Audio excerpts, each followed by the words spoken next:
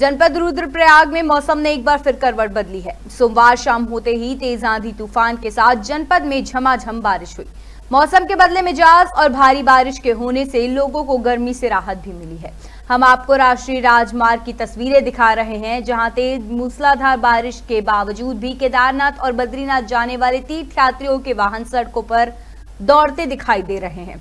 हालाँकि पुलिस प्रशासन अपने स्तर से वाहनों को तेज हवा और बारिश में सुरक्षित स्थानों पर रुकने के लिए अनाउंसमेंट करते सलाह भी देते रहे हैं। रुद्रप्रयाग से सत्यपाल नेगी की रिपोर्ट।